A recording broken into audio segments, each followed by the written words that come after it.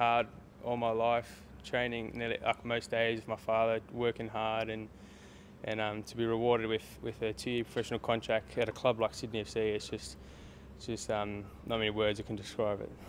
You excited? You looking forward to it? Oh, can't wait. Hoping to keep going, and, and yeah, looking very very forward to starting my career with Sydney. And ambitions for the next two years? Um, oh, just keep working hard. Um, hopefully, break into the first team a bit more, a bit more often, and and yeah, just just aim for first grade spot, which, which is what most um, most players are doing.